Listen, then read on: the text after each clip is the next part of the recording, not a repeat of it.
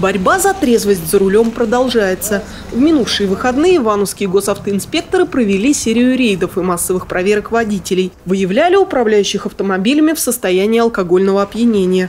В ходе рейдовых мероприятий и планового патрулирования пойманы с поличным 18 нетрезвых ездаков. Им предстоит на время попрощаться с правами. Практически за три месяца 2018 года в Ивановской области произошло 18 ДТП с участием водителей в состоянии опьянения. А, три человека погибли и 29 получили ранения. Областная госавтоинспекция напоминает жителям региона, за управление транспортным средством в состоянии опьянения предусмотрена административная ответственность в виде штрафа в размере 30 тысяч рублей с лишением права управления транспортными средствами от полутора до двух лет. За повторное управление транспортом в состоянии опьянения или повторный отказ от метасвидетельствования водителю грозит уголовная ответственность.